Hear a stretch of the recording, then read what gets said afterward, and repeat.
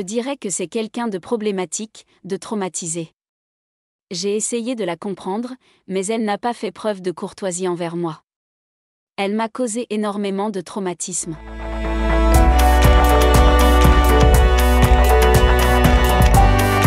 On ne se connaît même pas vraiment.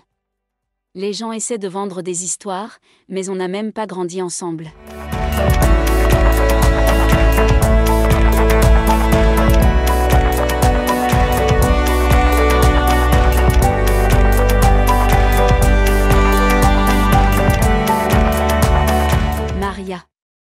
Je sais. Tu as traversé une énorme quantité de douleurs et de difficultés, et je sais que parfois tu penses que ce dont tu te souviens ne s'est pas vraiment passé. Je veux juste que tu saches que s'il y a un quelconque moyen pour que je te vienne en aide, tu n'as juste qu'à me téléphoner. Je serai toujours là pour toi.